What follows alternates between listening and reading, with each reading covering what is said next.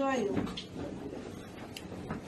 Грайнер Бритни Вет признать виновной в совершении преступлений, предусмотренных части 1 статьи 228, пункта В, часть 2 статьи 229, прим. 1 УК РФ, и назначить ей наказание по части 1 статьи 228 УК РФ в виде лишения свободы на срок 1 год 6 месяцев. По пункту В, часть 2 статьи 229, прим. УК РФ, Вид лишения свободы на срок 8 лет со штрафом в размере 1 миллион рублей. На основании части 3 и 4 69 УК РФ по совокупности преступлений путем частичного сложения окончательно назначить Грайнер Бритни Вет наказание в виде лишения свободы на срок 9 лет со штрафом в размере 1 миллиона рублей с отбыванием наказания в исправительной колонии общего режима.